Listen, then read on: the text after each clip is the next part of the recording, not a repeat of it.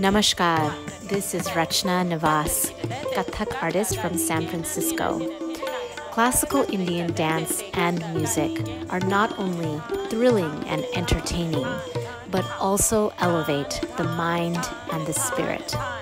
It is my great honor to be able to help bring together so many incredible artists from around the world, as well as be performing a solo myself at the Continuum Festival, April 20th through 21st at Z Space in San Francisco.